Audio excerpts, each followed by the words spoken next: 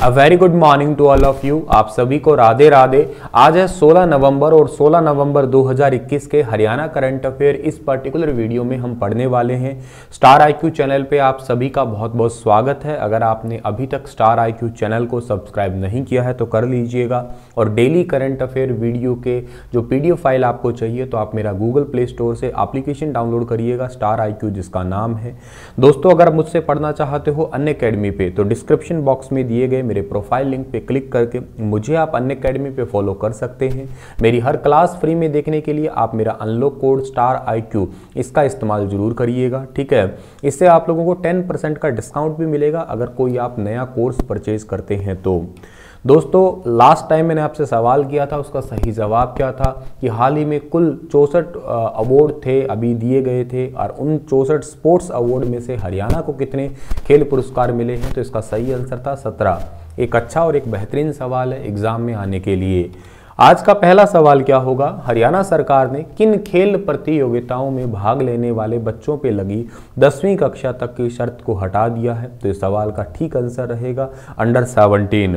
आपको पता है कि हरियाणा के खेल एवं युवा मामले के राज्य मंत्री का नाम है सरदार संदीप सिंह। इन्होंने ही इस जो खेल प्रतियोगिताओं में भाग लेने वाले जो दसवीं तक के बच्चे हैं उन पे अंडर सेवनटीन प्रतियोगिता वाली जो शर्त है, उसको हटा दिया है। दसवीं से बड़ी क्लास में पढ़ रहा बच्चा अंडर 17 कैटेगरी में भाग नहीं ले सकता था, पहले ये थी शर्त। और इसको अब हटा दिया। है। अब आ, अब से पहले नियम था कि अंडर 17 खेल प्रतियोगिताओं में केवल दसवीं कक्षा तक के ही बच्चे भाग ले सकते थे। अब इस वाली शर्त को हटा दिया है। अब हरियाणा सरकार का इससे पीछे मकसद इतना सही है कि ज़्यादा से ज़्यादा बच्चे जो है ना खेलों की ओर अग्रसर हो सके उनके माता पिता का नाम ऊपर कर सके वो देश का भी नाम ऊपर कर सके ठीक है ना? इसीलिए हरियाणा सरकार ने एक इतना अच्छा सा और एक बढ़िया सा फैसला लिया है। ये हरियाणा के हैं खेल मंत्री। सरदार संदीप सिंह इनका नाम है। इनके जीवन पे सूरमा वन और सूरमा टू मूवी बनी हुई है। दलदी दलजीत दोसांत जो है ना, उन्होंने इनका करेक्टर या इनका रोल जो है ना, वो अदा किया है। अच्छा दलजीत दोशांश वाला तो आपको ठीक है, याद रहेगा ही, क्योंकि आपने मूवी वगैरह देखी रखी है। ये हरियाणा के शाहबाद के रहने वाले हैं, जीते पेहोवा से हुए हैं, ये भी याद रखना आप लोग। किस शहर में राष्ट्रपति रामनाथ कोविंद की पत्नी सविता कोविंद द्वारा बड़े, बर्ड पार्क का उद्घाटन किया जाएगा? तो सविता कोविंद के द्वारा बर्ड पार्क का उद्घाटन किया जाएगा हरियाणा और पंजाब दोनों की राजधानी, यानी कि चंडीगढ़ के अंदर। सी वाला ऑप्शन जो है, इस सवाल का बिल्कुल ठीक रहेगा। सिटी ब्यूटीफुल के तर्ज पर सिटी फॉरेस्ट को नई पहचान मिल गई है और अब इसे एक बर्ड पार्क के नाम से भी जाना जाएगा, क्योंकि यहाँ पे एक बहुत बड़ा सा जो है ना, वो पक्षियों का पार्क बनाया जाएगा। 16 नवंबर, यानी कि आज ही के दिन राष्ट्रपति रामनाथ कोविंद की पत्नी, जिनका नाम है सविता कोविंद, वो ही इस बर्ड पार्क का उद्घाटन करेंगे, ठीक है ना? और दूसरी बात है एक्वेटिक बर्ड जो एवेरी है, उसमें पानी और ज़मीन पर रहने वाले बर्ड्स है, वो भी यहाँ पे देखने को मिलेंगे। एडवेंचर्स के लिए लकड़ी और शीशे के पुल बनाए गए हैं। बहुत यूनिक किस्म के जो है ना, ये बर्ड पार्क होने वाला है। यूँ कहिएगा, एक नेशनल लेवल पर एक पार्क हो जाएगा, ताकि यहाँ पे एक प्रकार से जो आपका टूरिज़्म है, उसको भी बढ़ावा मिलेगा। ठीक है? पाँच साल तक के बच्चों की इसमें एंट्री फ्री रहेगी, बाकी बारह साल से ऊपर के बच्चों की तीस रुपये की टिकट लगने वाली है। ठीक है? पक्षियों के घोंसले से लेके सभी प्रकार की ज़रूरतें जो है ना यहाँ पे पूरी की गई है। तो ये आपका है और साढ़े तीन करोड़ रुपए खर्च किए गए हैं इस टोटल प्रो, प्रोजेक्ट के ऊपर ठीक है? और सभी के लिए जो है ना बर्ड पार्क में पक्षियों की फ्री फ्लाई जोन जो है वो मिलेगा। और एक इंपॉर्टेंट और है कि एवेरी की हाइट देश के अभी तक के सभी एवेरी में सबसे ज़्यादा रखी गई है, ठीक है? जो कि 2400 2400 स्क्वायर मीटर के एरिया के अंदर ये नेचुरल बर्ड पार्क बना है। इस प्रकार का है ये बर्ड पार्क ठीक है ना?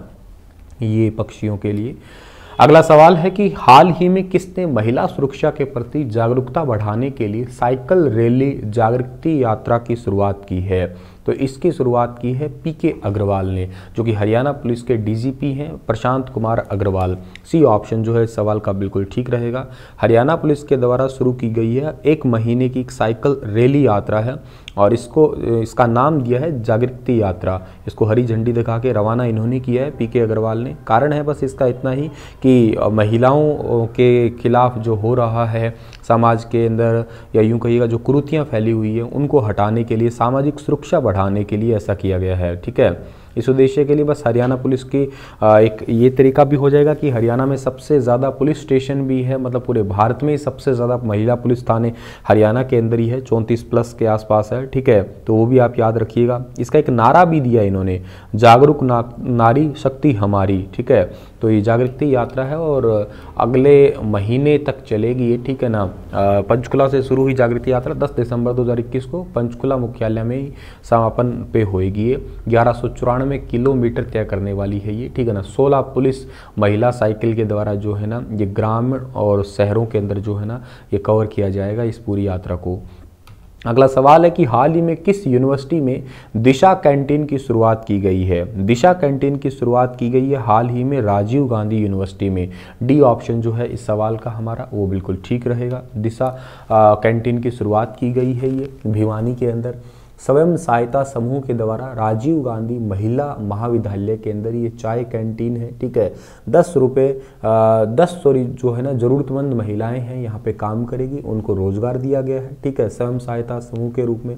और कॉलेज के लगभग जो है ना, वो तीन हज़ार दो सौ के आसपास यहाँ पे छात्राएँ हैं तो वो सभी जो यहाँ पे आती हैं तो यूँ कहिएगा, एक प्रकार से स्वयं सहायता या रोज़गार के जो रूप है, एक बड़ा रोज़गार के रूप में जो है ना, शुरुआत यहाँ से हुई है धीरे धीरे करके इस ग्रुप को बढ़ाया जाएगा।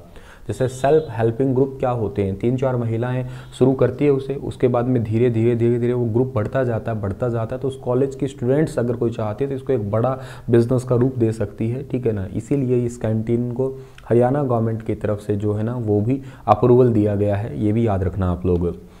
हाल ही में किसे हैफेड चीनी मिल के महाप्रबंधक के रूप में नियुक्त किया गया है? हैफेड चीनी मिल के महाप्रबंधक के रूप में नियुक्त किया गया है। मनदीप कुमार को, यानी कि ए वाला ऑप्शन जो है, इस सवाल का बिल्कुल ठीक रहेगा। अशोक कुमार मीना जो कि special secretary government of Haryana के हैं उन्होंने जो है इनकी नियुक्ति के आदेश दिए हैं। इतनी ही बात आपको याद रखनी है। अगला सवाल है कि हरियाणा के किस ज़िले को, को पुस्तक संस्कृति के उन्नयन का आदर्श जिला बनाया जाएगा? तो ये इस ज़िले का नाम है डियर करनाल डिस्ट्रिक्ट। यानी कि सी वाला ऑप्शन जो है इस सवाल का बिल्कुल ठीक रहेगा। करनाल ज़िले को पुस्तक संस्कृति के उन्नयन का आदर्श जिला बनाया जाएगा। करनाल में आपको पता होगा करनाल के काछवा गाँव में सबसे पहले ई लाइब्रेरी भी खुली थी। ये बात भी आप याद रखिएगा ठीक है? और ये जो आपके समाना बड़ू है, बड़ा गाँव है, यहाँ पे जो है ना ऑक्सी वन और सरदार पटेल पुस्तकालय की स्थापना भी जो है ना होने वाली है बहुत ही जल्द करनाल डिस्ट्रिक्ट के अंदर। हरियाणा के किस ज़िले में गीता मैराथन का आयोजन किया जाएगा? गीता मैराथन का आयोजन किया जाएगा कुरुक्षेत्रा के अंदर, यानी कि बी वाला ऑप्शन जो है इस सवाल का बिल्कुल ठीक रहेगा। अंतर्राष्ट्रीय गीता महोत्सव 2021 में युवा वर्ग जो है ना, वो खासकर खिलाड़ियों को भी साथ लेके चल रहा है और इसमें गीता मैराथन 28 नवंबर को होने वाली है, ठीक है ना? और गीता महोत्सव इस बार होने वाला है 2 दिसंबर से लेके 19 दिसंबर के बीच में होने वाला है, ये भी बात आपको याद रखनी है, ठीक है ना? तो काफ़ी इंपॉर्टेंट होगा गीता महोत्सव इस बार का।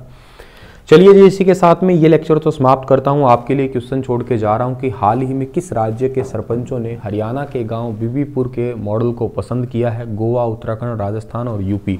बताइए विस्तार से इसके बारे में, कल फिर हाजिर होऊँगा। लेटेस्ट अपडेट के साथ में, तब तक अपना ख्याल रखिएगा। आज रात को साढ़े आठ बजे स्टार आई चैनल पर लाइव मिलूँगा आपको मैं। आप मुझसे लाइव भी कनेक्ट हो जाइएगा। धन्यवाद।